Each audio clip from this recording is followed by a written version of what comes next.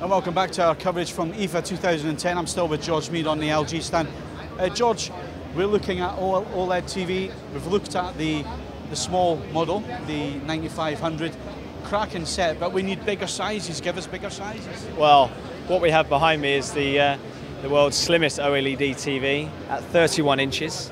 Um, this is currently a prototype, but, at, but as you can see, I mean, at 2.9 millimeters in depth, it is absolutely phenomenal, delivering the ultimate in picture quality, the ultimate in design wrapped inside. This is the future of technology within the consumer's homes, and we're delighted to have our 31 inch OLED. We have promised larger screens, and we've lived up to that in, in, at IFA of this year.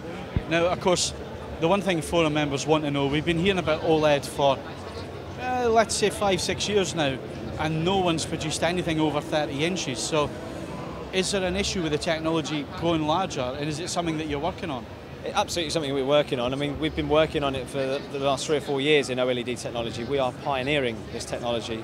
We are backing this technology, and we believe that it just delivers the ultimate in picture quality, which is what people want to see.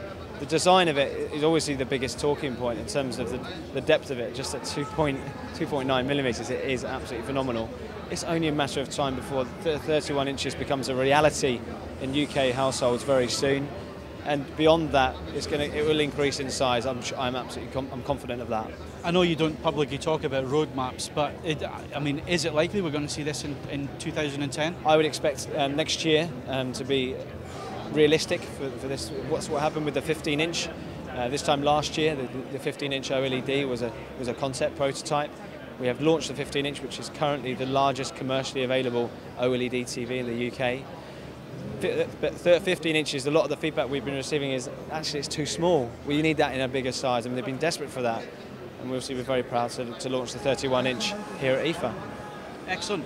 Well, that's OLED, and we're going to look at another bit of new technology. So come back and see us in a couple of ticks.